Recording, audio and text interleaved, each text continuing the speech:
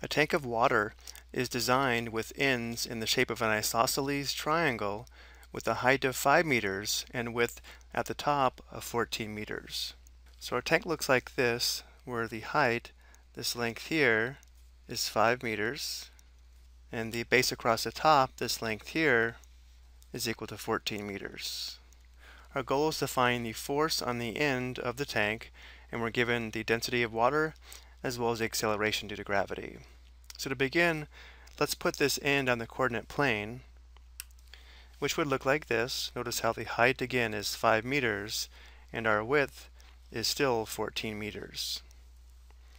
To find the total force on this end, we'll be using this integral here, where the force is equal to the integral of w times d of y times L of y, integrated with respect to y from c to d, where w is the weight density, which we see below, which we see below is equal to rho times g, or density times acceleration due to gravity. d of y is the depth of the fluid at y, and L of y is the horizontal length at y.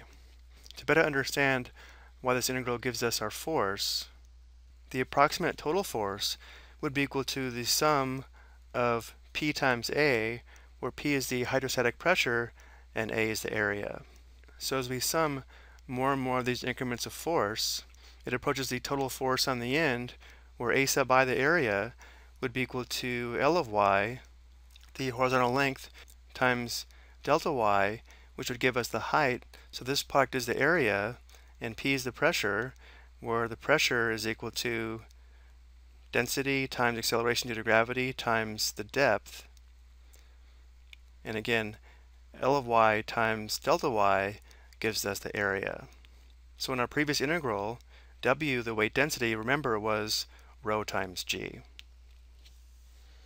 So going back to our example, we'll begin by sketching a horizontal rectangle to help us set up this integral. So let's sketch this rectangle here. Notice how the height of this rectangle is delta y, which is why we integrate with respect to y. Again, d of y is the depth at y, and therefore d of y would be this length here, and L of y is the horizontal width, which would be this length here. Let's begin by determining the weight density. So the weight density is equal to the density times the acceleration due to gravity. So in this case we'd have 1,000 kilograms per meters cubed times 9.8 meters per second squared. This gives us 9,800 and the units here would be newtons per meters cubed. Now let's find d of y and L of y. d of y would be the depth at y, which looking at our triangle here would be 5 minus the y value, or just 5 minus y. Notice when y is 0, the depth would be 5 meters. If y was, let's say, 3, notice how the depth would be 2 meters. Now let's find L of y, this length here. To do this, we'll use similar triangles. Notice how we have this large isosceles triangle and this smaller isosceles triangle, where the base of the smaller isosceles triangle would be L of y. Looking at this larger sketch, let's let this width be L of y. And again, we have two similar triangles. We have this smaller isosceles triangle and we have this larger isosceles triangle. We know the length of this base here is 14 meters. We know the total height is 5 meters.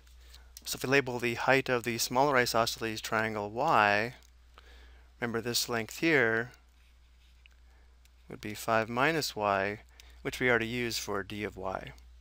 And because these triangles are similar, we'll now set up a proportion to find L of y. The height of the large isosceles triangle 5 is to the height of the smaller isosceles triangle y as the base of the largest isosceles triangle 14 is to the base of the smaller isosceles triangle, which is L of y. Now we'll cross multiply and solve for L of y. So 5 times L of y must equal y times 14. So 5 L of y equals 14y. Divide both sides by 5. And we have L of y equals 14 fifths y.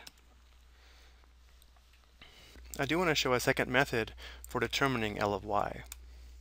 If we consider the line containing this side of the isosceles triangle, notice how this line has a y-intercept of 0 and a slope of 5 sevenths. Notice how we'd go up 5 and right 7. So the equation of this line would be y equals 5 sevenths x. And notice how this horizontal length here from the y-axis to our line would be x units. But the length from the y-axis to the left would also be x units. And therefore L of y is actually equal to 2x. So if L of y equals 2x, of course this is not a function of y, but if we solve this equation here for x by multiplying both sides by 7 fifths, we'd have 7 fifths y equals 7 fifths times 5 sevenths x. So here notice how x equals 7 fifths y. So L of y would equal 2 times x, or 2 times 7 fifths y, giving us the same result of 14 fifths y. So there are a couple ways to find L of y, but now that we have L of y, we can now determine the total force on this end. The total force F is equal to the integral of the weight density, which is 9,800, times d of y, the quantity 5 minus y, times L of y, which is 14 fifths y, integrated with respect to y from the bottom of the tank to the top, or from 0 to 5 along the y-axis. So let's go ahead and factor out the 9,800 as well as the 14 fifths. So we'd have the integral from 0 to 5 of the quantity 5 minus y times y integrated with respect to y. Let's go ahead and finish this on the next slide. This product here comes out to 27,440. Let's go ahead and distribute. So we have 5y minus y squared. Now we'll find the antiderivative.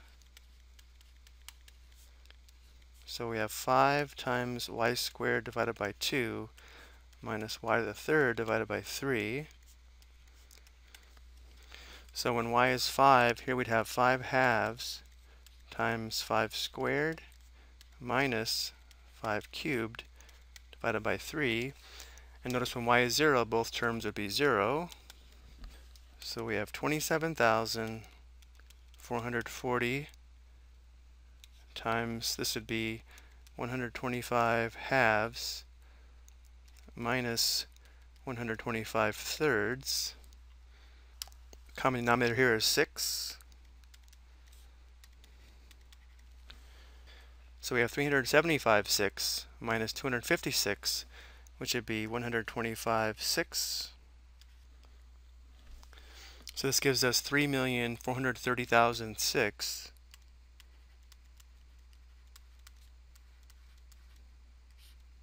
Of course, we have a common factor of 2. So the exact value is 1,715,000 divided by 3. This would be newtons. Let's also get a decimal approximation, which would be approximately 571,666.6667 newtons. I hope you found this helpful.